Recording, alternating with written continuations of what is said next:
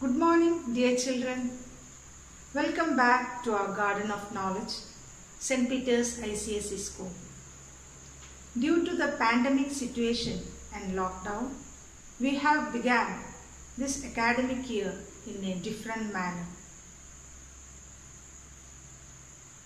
Let us hope and pray that we can meet each other in our classrooms very soon. As you are stepping into 6th standard, there is a slight variation in the academic pattern which you followed till last year. For example, in the case of the subject science, this year you will be studying in three different classes or under three different categories that is physics, chemistry and biology. I am Saudabi Razik, your chemistry teacher. So shall we begin? Do you like to hear stories?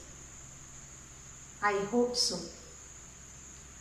So let us begin our new chapter with a story. Young Johnny was lying in the bed reading a book about early humans. While reading, he slipped into sleep. In his sleep, he had a dream. And in that dream, he was transferred completely into a different world. The world of ancient man. Let us see some of the visuals of Johnny's dream. Children, he saw some strange people in his dream. Look at their dresses. They were not dressed up like us. They used the leaves of plants and trees and skin of animals to dress up. They hunted for their food. Also, they ate raw fruits and vegetables. And they threw away the leftover hard parts of these raw fruits and vegetables. After some time, they saw that the new plants sprouting from those seeds. And that was their first lesson of agriculture or farming. Then, for hunting, they had to use some weapons or tools. So, they tried to sharpen the stone pieces in different pattern. You can see the, in the picture the uh, tools of Stone Age man. They sharpened the stones in different pattern and while rubbing the stones each other, they accidentally found out the fire. And the discovery of fire was a turning point in the development of mankind. He began to cook food and gradually they also see their houses. It was not like us, they lived in caves. Ancient man from his observations, experiments, failures began to gather the knowledge.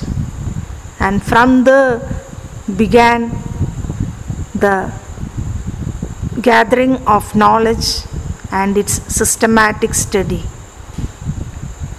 That is called as the subject science. So, what is science? It is the systematic study of the structure and behavior of physical and natural world through observation and experiment. So, the important tool of a science student is observation and experiment. The children, if you also observe around you carefully, you can find out a lot of things, a lot of surprises are awaiting you in nature. the scientists which we know today, the famous scientists, they had bec- they became scientists not in just one day. It was through a series of experiments and failures. At last, they tasted success. So, the subject science it is an ongoing effort by human beings to study, understand, and utilize nature for meaningful purposes. See what we are, the life which we are enjoying today is the fruit of this utilization of the knowledge of science in a meaningful manner. So, the subject science has three main branches that is, chemistry, physics, and biology. So, here we are going to study the subject chemistry.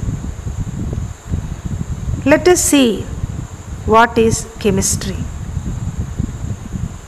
It is the branch of science that deals with the study of matter, their structure, composition, physical and chemical properties, etc.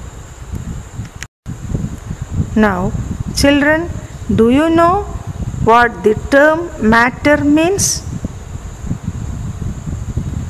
See, the all the substances in this world, whether it is living or non-living things, they are made up of the basic substance called matter. So, can you give me some examples for matter? Yeah, the book you are using, the pen you are using, the dress you are wearing, and the bag, your bag, the furniture at your home, the utensils in the kitchen, that everything we can say basically all are made up of matter. We the human beings we are a living thing. So we also are basically made up of matter. And chemistry in chemistry we are going to study about this matter. That means the structure of matter. What this matter contain and what are the properties of this matter i told you that all the things are in this universe are made up of matter. So each substance you know see the dress you are wearing is quite different from the furniture you are using at home. So the matter with which each of these substances each of these materials are made up is quite different. So we are going to study in chemistry about the physical and chemical properties of matter. So air water everything we can give as example for matter. So matter is anything which has mass and occupies space.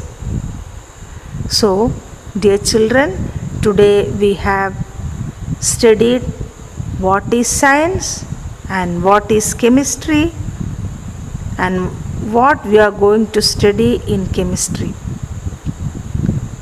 so note down all the important points given here in your chemistry notebook.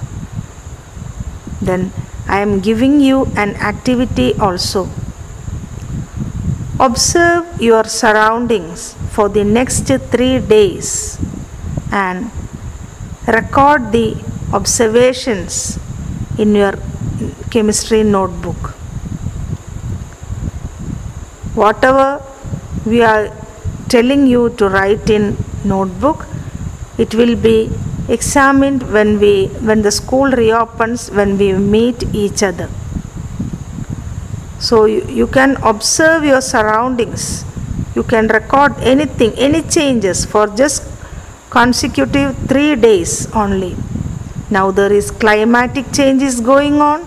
Then everything if you look at your garden you can see some changes. Like that anything you observe around you and record the changes going on. That is the activity for today. Have a nice day. Thank you